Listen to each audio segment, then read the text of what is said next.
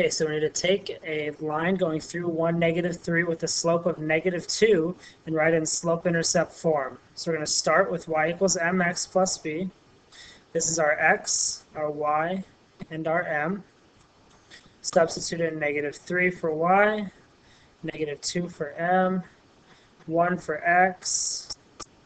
So negative 3 equals negative 2 plus b. Add 2 to both sides negative 1 equals b. So we have y equals mx plus b again. To only substitute in the slope and the y-intercept. The y equals, when we clean it up, negative 2x minus 1.